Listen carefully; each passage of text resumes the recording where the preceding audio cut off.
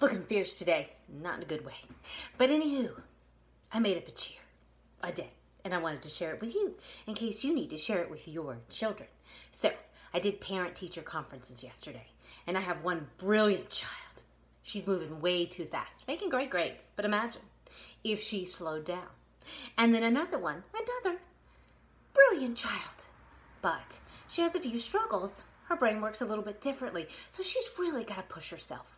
So today I told one her keyword is push, and the other one, her keywords are slow down. So I just put it in cheer. Are you ready? Here we go. Hey, hey, what do you say? Let's get good grades. Hey, hey, what do you say?